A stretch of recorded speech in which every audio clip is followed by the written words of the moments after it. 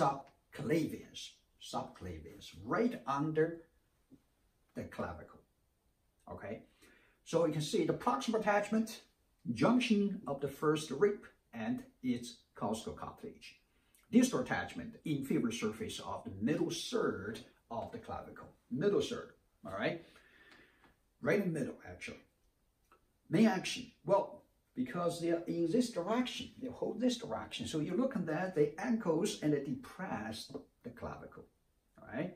The innervation is nerve to subclavius. Remember the brachial plexus? Okay, if you're not learning yet, we can review that, we can study that, and you'll be able to understand that. Basics from C5 and C6, especially C5.